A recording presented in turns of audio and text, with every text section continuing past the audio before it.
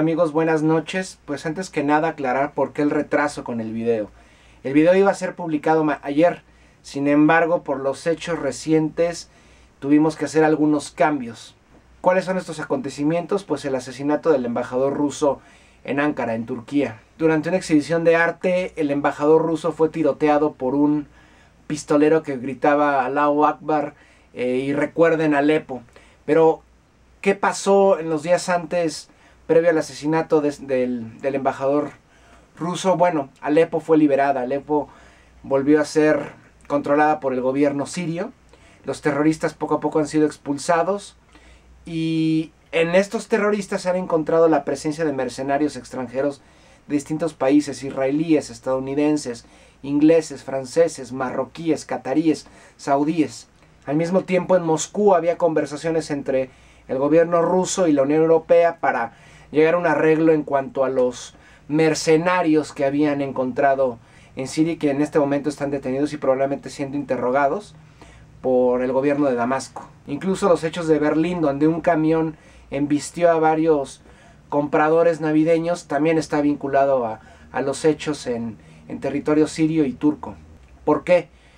Porque al mostrar que el terrorismo islámico sigue estando presente en, en, Europa y más allá que este terrorismo islámico proviene del llamado Estado Islámico, esto legitima que los Estados Unidos y los Estados europeos agredan directamente al territorio sirio, obviamente buscando derrocar al gobierno de Al-Assad con la excusa de vencer al Estado Islámico, que es la madre de estos, de estos yihadistas en Europa. Estamos a pocos días de que la administración Obama salga, una administración que ha sido tal vez la más violenta de las últimas décadas en Estados Unidos, incluso más que, la de Bush Jr., y no se va a ir derrotada, no se va a ir con la vergüenza tras su aplastante derrota en Siria por las tropas de este país y, sus aliados como Irán y Rusia o Hezbollah. Entonces Obama va a hacer hasta lo imposible para que la administración saliente se vaya victoriosa y pueda continuar el caos en Siria que ha devastado un país que había sido un emblema del secularismo en Medio Oriente. Obviamente hay que decir que esto está vinculado al proceso de rusofobia continua que que ahorita en los medios está latente a un grado que no había ocurrido incluso en la, durante la Guerra Fría. Esta vez no nos centraremos tanto en la rusofobia, ese será tema de otro video. Sin embargo, hay que entender que el proceso demonizador de Rusia, al inventar que ellos fueron partícipes en la derrota de Hillary Clinton y en el ascenso de Donald Trump, está íntimamente relacionado con la destrucción del Estado sirio y la guerra en Siria. El simbolismo de una derrota de estadounidense de la administración demócrata de Obama y de sus aliados en territorio sirio representaría el ascenso de Rusia como una de las superpotencias junto a China dominantes, poniendo a Estados Unidos en un segundo lugar.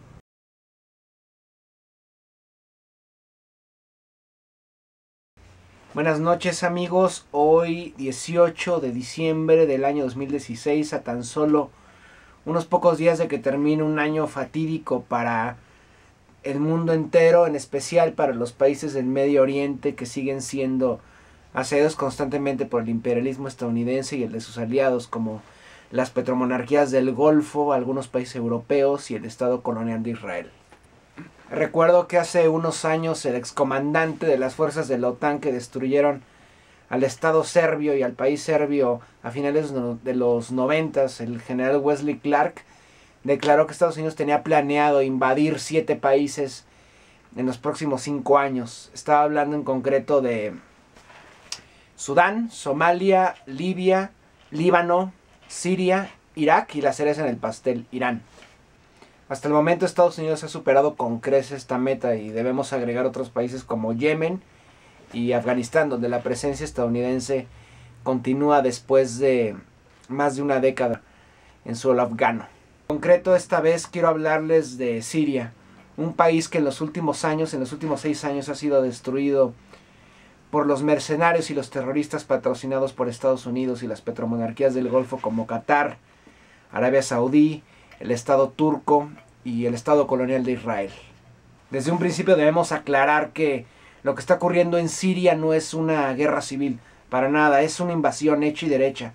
Eh, desde hace seis años un país que en décadas anteriores había sido faro del progresismo en Medio Oriente, uno de los pocos países donde las mujeres no tienen que caminar en la calle con chador o donde las, religiones minoritarias como el cristianismo en diversas denominaciones habían sido protegidas por el Estado, de pronto se convirtió en un país con gente crucificada y decapitada en las calles, muy parecido a lo que había ocurrido en Libia pocos años antes.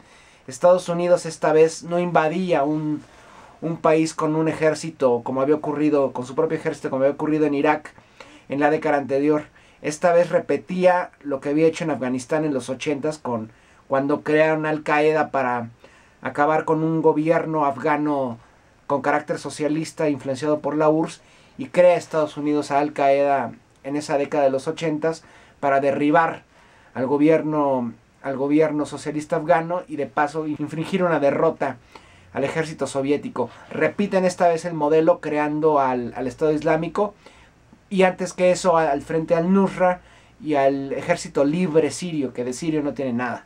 Bueno, en primer lugar, ¿por qué se invade Siria? En resumidas cuentas, todo es por gas. Por un gasoducto que proviene del Golfo Pérsico, un gasoducto compartido por el Estado de Qatar y la República Islámica de Irán, el cual tenía que pasar forzosamente por territorio sirio. El gobierno sirio, con el gobierno iraquí y el gobierno de la República Islámica de Irán, habían tenido un proyecto conjunto, construir el gasoducto que atravesaría el territorio iraquí, entraría por el territorio sirio y pasaría incluso por Líbano y de ahí en un ducto submarino a Europa.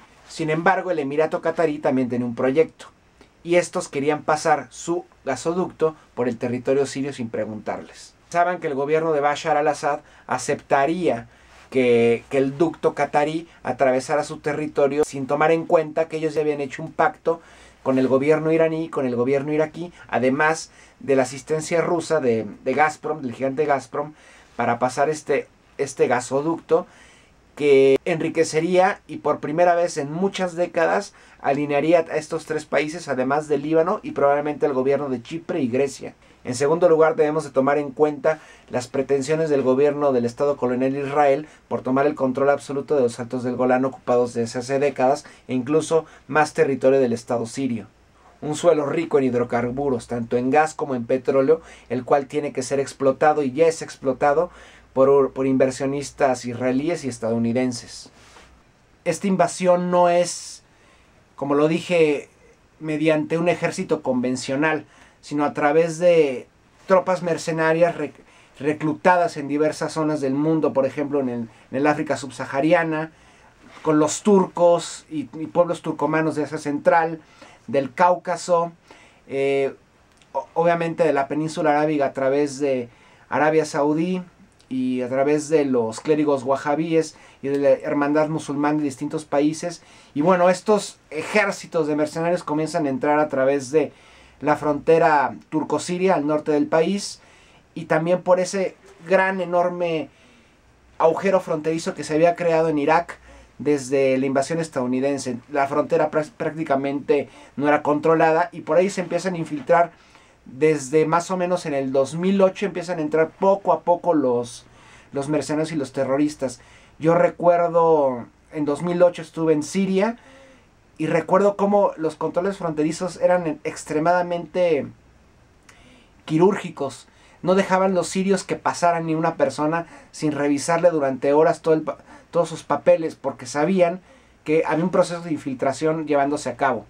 Pero ¿de dónde salen estos recursos? ¿De dónde proviene el dinero que hace que estos mercenarios estén armados, hasta los dientes? Porque debemos ser honestos, no son, no son un ejército rebelde armado con AK-47 de tercera mano. No, no, no. Tienen armamento de alta tecnología. ¿De dónde provienen estas armas y de este dinero?